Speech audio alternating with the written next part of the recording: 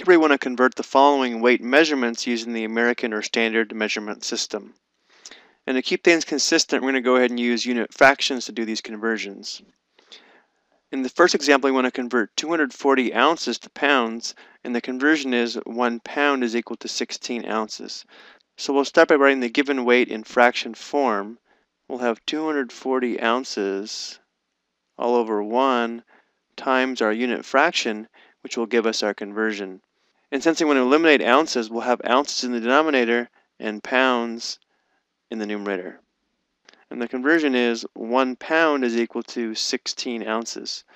And notice when we set the unit fraction up this way, the units of ounces simplify out and we're left with pounds. So this product will give us the number of pounds in 240 ounces.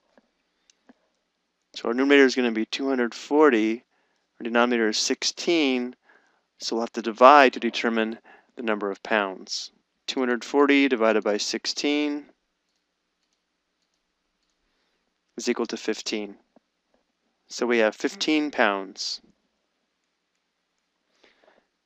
For our second example, we want to convert 3 ton into pounds and then also into ounces. So I'll write 3 tons as a fraction, so 3 tons over 1. And the conversion is 1 ton is equal to 2,000 pounds. So we'll put tons in the denominator and pounds in the numerator and the conversion is one ton is equal to 2,000 pounds. So notice now the units of tons have simplified out, and this product gives us a number of pounds. So 3 times 2,000 would be 6,000 pounds. Now we want to convert 6,000 pounds to ounces, so we'll just add one more unit fraction on here. We'll convert pounds to ounces. And again, the conversion is one pound is equal to 16 ounces. And the units of pounds have simplified out.